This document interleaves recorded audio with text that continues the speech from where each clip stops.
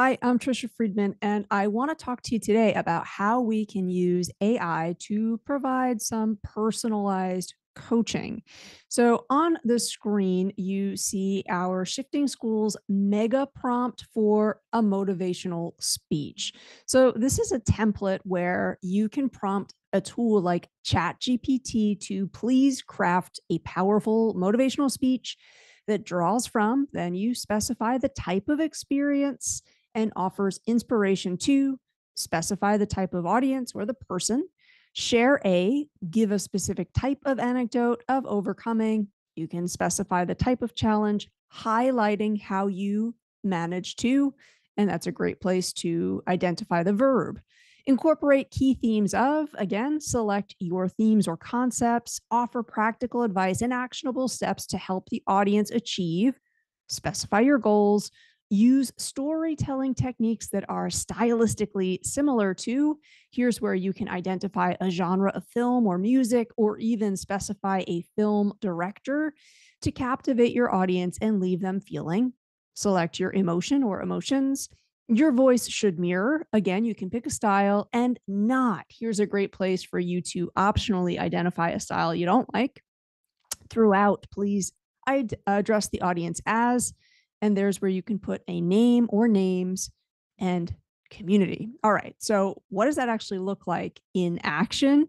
Um, this is the sample that I did where I asked for a motivational speech that draws from experience starting a new school and offers inspiration to a 15 year old student share a sports anecdote based on snowboarding of overcoming a sports injury highlighting how you managed to learn to end up appreciating a new sport.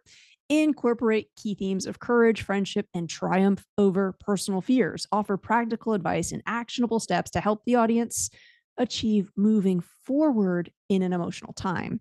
Use storytelling techniques that are stylistically similar to Ryan Coogler movies like Creed to captivate your audience and leave them feeling hopeful. Your voice should mirror Silk, also known as Cindy Moon, and not mirror Batman. Throughout, address the audience as either Jesse or JJ or Jesse the Magnificent. Whew. Here's what ChatGPT came up with. So now I've got a script for a motivational speech. But what if I want to take that script a step further? Well, if you have heard of the tool ElevenLabs, this is a space where we can go to generate voice AI. Um, you can try it out free. They do have a free subscription option. So, what I did is I've got my subscription. I thought about the voice library I explored some of the options. There are many, many options in the voice library. And I should mention, once you have selected one, you can further customize it. So I've selected my voice, I've added it to the text. I click generate. It's going to then produce the audio file, which I can then download and actually listen to.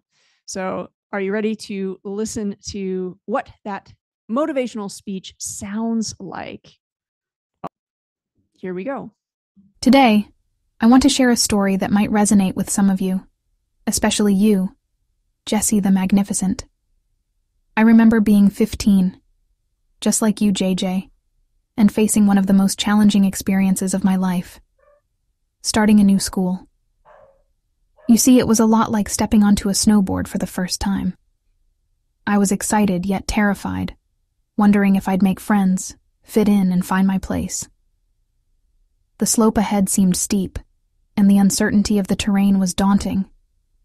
But as they say, life often throws us into uncharted territory, and it's up to us to find the courage within.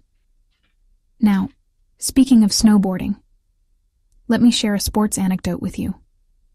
I once had a passion for it, much like some of you might have for your interests.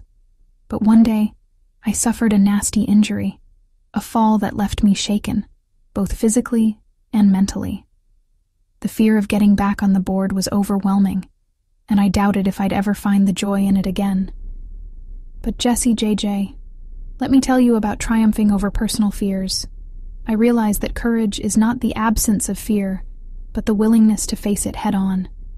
I took one step at a time, surrounded myself with friends who believed in me, and with their support, I conquered that mountain of fear. Just like in those Ryan Coogler movies, it was about finding strength in the face of adversity, believing in yourself, and building friendships that could withstand any storm. As the great Rocky Balboa once said, it ain't about how hard you hit, it's about how hard you can get hit and keep moving forward. So, my advice to you, Jesse the Magnificent, and all of you here, is this embrace the unknown.